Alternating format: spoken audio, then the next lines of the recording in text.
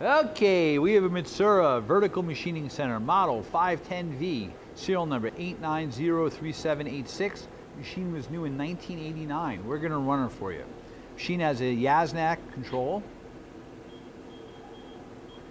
Uh, it has a BT 35 taper, 6,000 RPM spindle. That's 1500. Very quiet, going up. 3,500.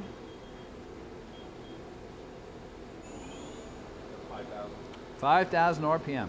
You have a 20 tool automatic side mount uh, tool changer.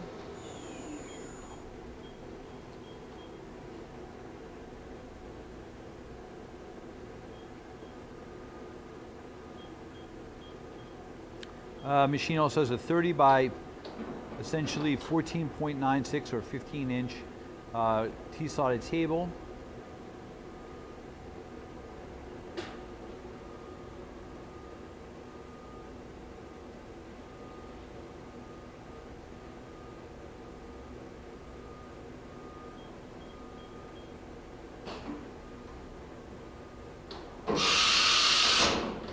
All right, simulating a tool change.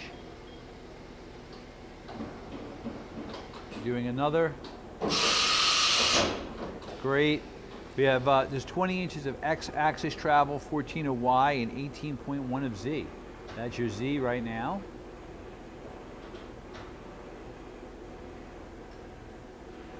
Your Y.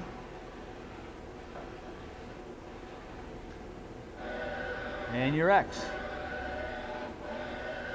All right, you've seen XYZ tool change and spindle run up to uh, up, up 5,000 RPM. Hey, thank you for watching our video.